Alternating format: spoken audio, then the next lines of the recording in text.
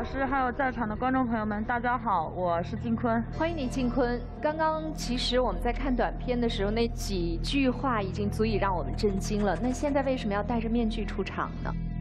因为我之前有过整形失败的经历，我不太愿意去面对大家的目光。我当时面部进行了有十几项吧，就整个都不是很好。所有的对，也就是说，你所有的整形全部失败了。嗯，那么这种概率是不是很小呢？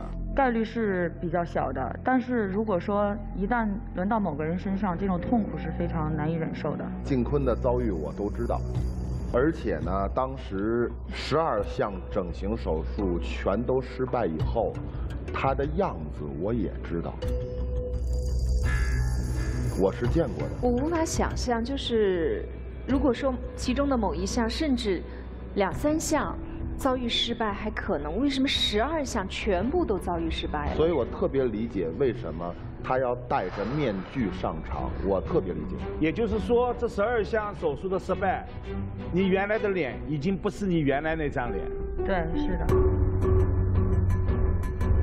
这比较可怕。我在想，如果我这一张脸整形失败，又变成了一张不堪的脸，我如何去面对我的原生产单位呢？也就是我的父母。是的，确实挺痛苦的这张。其实我觉得女孩爱美之心，人皆有之。我想你之所以去选择整形，一定是希望更美丽。但是遭遇到这样的突变之后，可能面对着镜子看到那张陌生的脸的时候，是最痛苦的吧？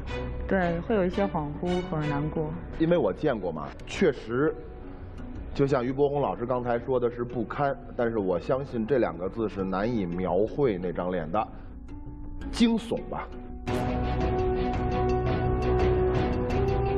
那么对一个女孩子来说，那就是绝对的崩溃。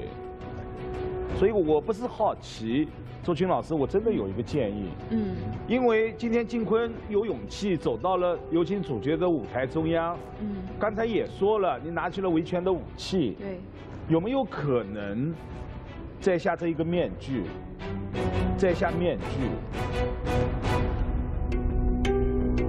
因为我们的很多的观众可能并不是一种好奇，更多的他们现在看到一个坚强的女孩，这样啊，没关系，你可以不摘下来。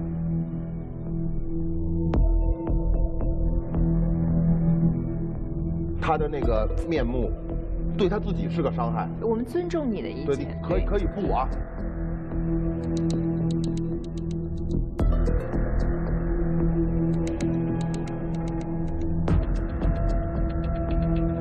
可以，可以摘下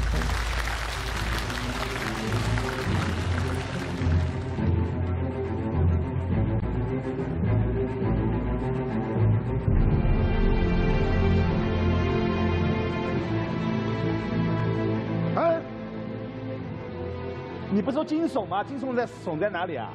你怎么回事儿这是？我这个是后来又修复了四次，就是前一段时间刚刚进行完第四次修复手术。所以其实我们已经做好了心理准备。我在想，十二项的失败可能会是一个什么样？但是真正看到是你的时候，这样啊，对，周我觉得，群老师，我负责任的说一句，嗯，这个修复好成功啊，真的，这个修这跟复好你之前成功啊。见到的判若两人了，是吗？